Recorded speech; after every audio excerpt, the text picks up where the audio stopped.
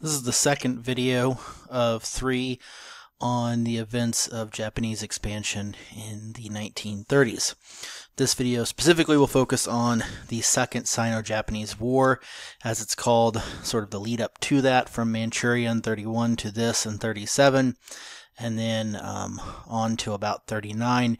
This will not really cover the international response, however, that'll be the last video of this series. So there was really no cessation. Cessation. uh, great start.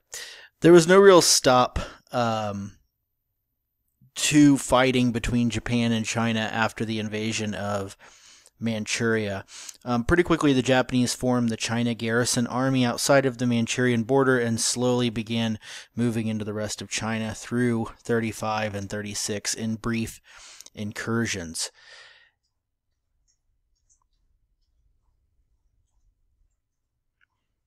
In Hebei province, two pro Japanese newspaper editors were killed by Chinese rebels, which led to Japan declaring the Chinese must withdraw from that province. The Umezu Hei Agreement of June 1935 led to China leaving Hebei province and Japan declaring a puppet state there, known as the East Hebei Autonomous Council. An agreement in late June of 1935 also removed remaining Chinese troops from the Manchukuo border and Chahar province. Later in 1935, in Inner Mongolia, fighting erupted between pro Japanese and pro Chinese factions, eventually leading to Japan helping Mongolia to declare the state of Mengjiang, or Mongoland. In response to these brief conflicts, Chinese warlords captured Chiang Kai shek and held him captive in what's known as the Xi'an incident in December of 1936. We talked about with this with um, with China. Basically, they held him captive, kidnapped him until he finally agreed to stop focusing on the communist and form a second united front to fight the Japanese threat. Chiang Kai shek agreed, but no immediate plans were made at that time. Finally, the skirmishes and tensions reached a boiling point in July of 1937. Japanese and Chinese troops stationed at the Marco Polo Bridge near Beijing began shooting at each other. This incident, known as the Marco Polo Bridge Incident, led to Japan demanding an apology, claiming China had fired first. When China refused, Japan sent full armies into the country to fight, and the Jap- or the Chinese uh, likewise followed by sending armies in. Chiang Kai shek also sent planes to begin bombing Japan controlled parts of Shanghai in August of 37. The Second Sino Japanese War had officially begun. However, important to note that once again no war was officially declared by the Japanese government. Instead, each succeeding battle and fight were labeled incidents. The next incident focused on the city of Shanghai. Shanghai was known as the Paris of the Orient. It was a very cosmopolitan city on the coast. Japan had little difficulty in provoking an affair that led to pretenses for an invasion there. A Chinese newspaper in Shanghai had deplored a recent failure of an assassination attempt on Hirohito, and so the Japanese used that as an excuse to invade, calling it the, quote, Emperor Disrespect Incident.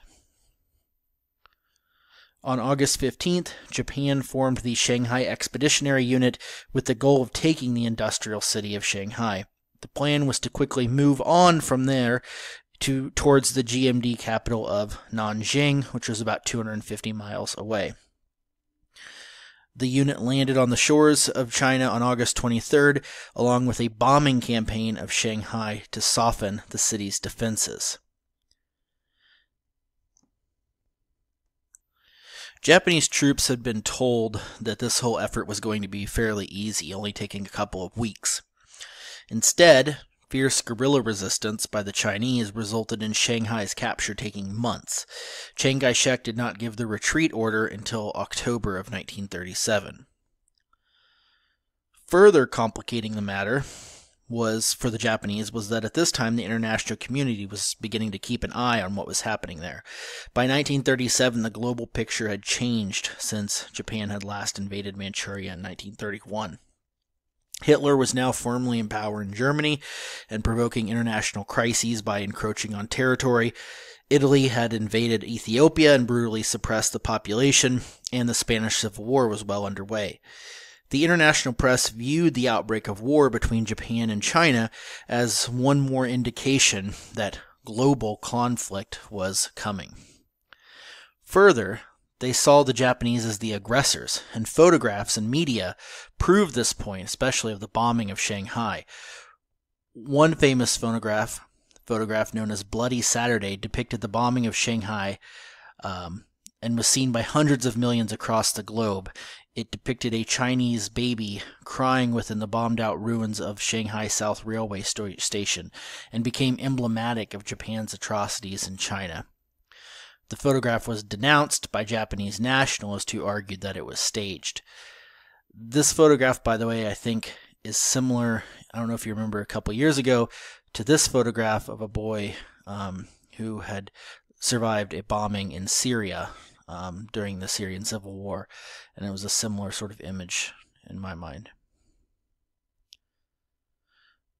Those that argued Japan was an aggressive and brutal oppressor would find further evidence with the next actions the empire took in China. After Shanghai was finally taken in October to November of 1937, soldiers began the march towards Nanjing, the capital. The troops were frustrated at Shanghai taking so long, and their leadership promised that Nanjing held rewards for them. Combining with this frustration and promise of rewards, Japanese troops were encouraged to live off the land, eating food, taking shelter, and plundering along the way. The leadership actually gave an order known as the Three Alls kill all, burn all, loot all. The so called Nanjing Massacre, or Rape of Nanjing, really began en route. As troops marched from Shanghai to Nanjing, they pillaged and killed Chinese civilians. After some fighting between GMD troops and the Japanese, Chiang Kai shek gave the order to fall back in December, leaving the city open to Japanese occupation. As the Japanese occupied the city, some GMD troops continued to fight using guerrilla techniques, hiding out in civilian clothing during the day and sabotaging at night. This resulted in increasing anger at the Chinese population of Nanjing, and the Japanese viewing them all as suspect. Soon, Japanese troops began rounding up civilians and executing them en masse. Rape and mutilation were common. Historians debate the numbers, but probably around 300,000 civilians were killed, including many children and elderly people. There are many reasons given for the massacre, at times called a Holocaust by Chinese nationalists. Uh, the troops were frustrated at getting bogged down in Shanghai and having to combat the difficult guerrilla warfare. They weren't ready to try and pacify a population. They were basically just there to be troops. There was also a fear of failure and a feeling that killing was a key part of the job. Japanese soldiers were treated brutally by their officers and told that Nanjing promised rewards and they should take that out on the Chinese people. Most officers came from well off families, whereas soldiers, the Japanese army, were conscripted from the countryside. POWs and incarceration was impossible, so Japan preferred to just execute anyone captured. Finally, troops also tended to hold racist beliefs towards the Chinese. This, by the way, is one very controversial um, part of the Nanjing massacre. Um, there are those that contend that there was an event in which two soldiers had a competition to see who could behead the most Chinese civilians with swords, and that this uh, competition was published in newspapers back home in Japan with people keeping up with how many each soldier had killed. Um, there's a picture of a newspaper there in the bottom right hand corner. I say it's controversial because there are people in Japan that say this is a made up thing, um, as well as the whole Nanjing massacre, and that um, that this never happened, or that if it did happen, it was a lot less than um, people in China claim. The Nanjing Massacre would go down in history as one of the worst wartime atrocities. The event is still a hotly debated topic in Asia today, with some Japanese nationalists, as I just said, denying the details of the event, and diplomacy between the nations made contentious by memories of the atrocities.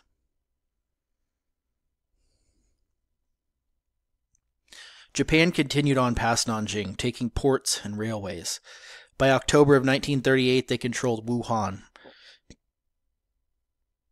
by mid 1939, the bulk of China was under Japanese occupation along the coast. The new capital of Chongqing was bombarded heavily by the Japanese but never fell. This resulted in Japan looking for ways to begin cutting off supply lines to the Chinese. A former warlord was put in place as the new president of China with a capital at Nanjing, a sort of puppet state for the Japanese, while the GMD and the communists continued to operate elsewhere.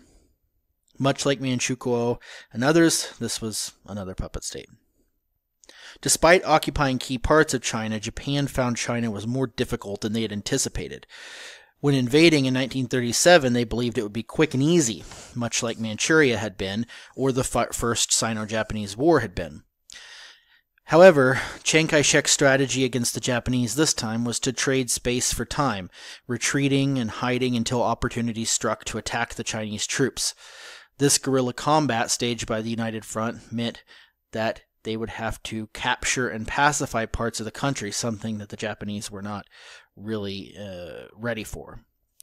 Further, the actions in China had contributed to Japan's economic and diplomatic isolation from the world. Sanctions followed, and Japan was losing resources fast. By the late 1930s, Japan was looking for a solution to solve their problem of being stuck in China. Their answer would be expansion into Southeast Asia and widening the war. And I'll leave you with this quote from a historian who says the Japanese really had no plans for conducting a war and pacifying the country at the same time. Third rate political generals with no more background than that of a military college were trying to meet first rate political problems. A complete collapse of opposition was what they expected. In this, they were disappointed. Conquest was rapid, but incomplete.